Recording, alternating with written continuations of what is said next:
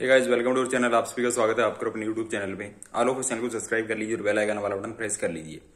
तो friends IBPS की तरफ़ से अपडेट आया आज कि जो आईबीपीएस आरआरबी पीओ और क्लरिकल का फाइनल रिज़ल्ट आया था एक जनवरी को। तो उसकी रिज़र्व लिस्ट है, वो आउट हो चुकी है।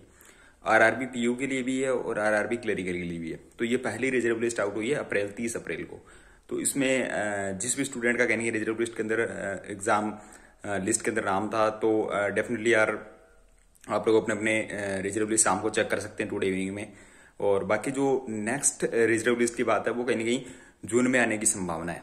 यानी जून में आरआरबी का नोटिफिकेशन भी आ जाता है स्टार्टिंग में, और लास्ट तक जो वो सेकंड लिस्ट जो वो आरआरबी की आने की संभावना रहती है।